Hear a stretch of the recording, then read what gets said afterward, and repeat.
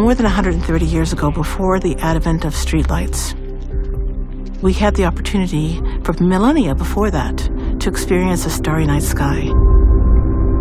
And it provided us an inspiration and an awe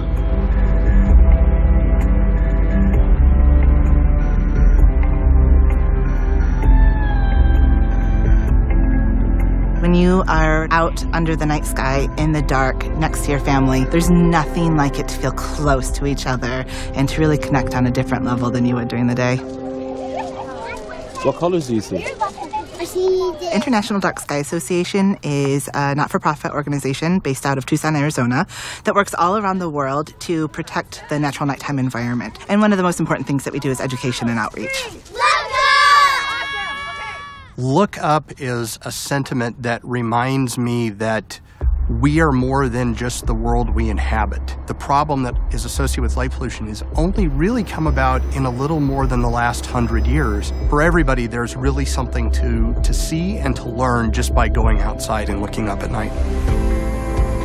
Kids have a natural curiosity for stargazing. It is not hard to get them excited or interested in this activity. What's the name of the brightest star in the night sky? Sirius. Sirius. Now, Are you serious? I am serious. There it is. Every kid that comes out here has a firsthand experience with nature. They are explorers. Oh, did you guys see that? Make a wish, guys. Make a wish. shooting star.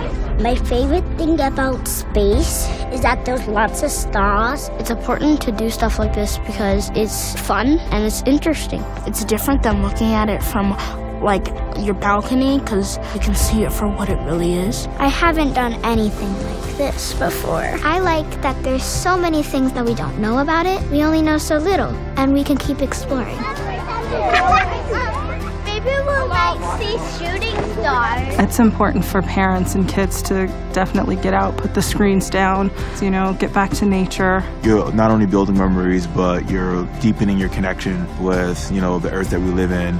The idea of being able to explore the natural nighttime environment is something that's really special to humanity throughout our entire history. It led to wondering, exploring, and discovering things we had never contemplated before. Where do we come from? What are we made of?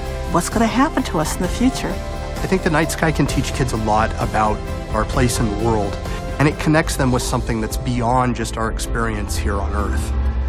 Thank you, IDA. Thank you, National Geographic.